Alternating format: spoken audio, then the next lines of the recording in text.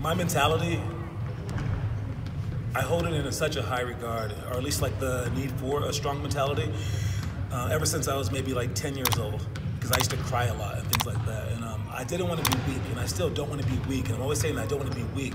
And it's never really physically; it's always mentally, because those have been the people that I've like admired the most in life. The people that can withstand the bad calls, not getting playing time, the ups and downs of life, and um, in the end, we are only our minds. So.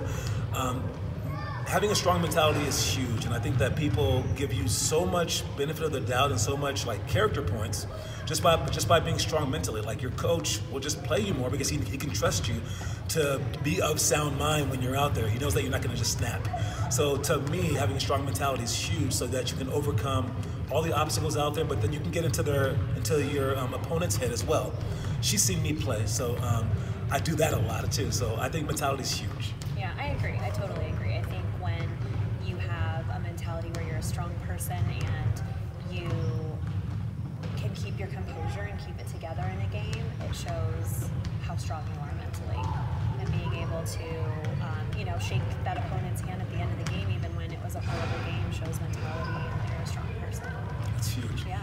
Yeah, because I mean, we are kind of um, psychopaths. Not to say um, bipolar, maybe where basketball has to simultaneously mean everything and nothing at all. Right. And it's such a weird thing. We're like playing tricks on our mind. And our mind's probably like, wait, so what are we doing? Right. like, are we dying for this or not? so we're, we're kind of playing with the whole fight or flight mentality thing. And our body does not understand it.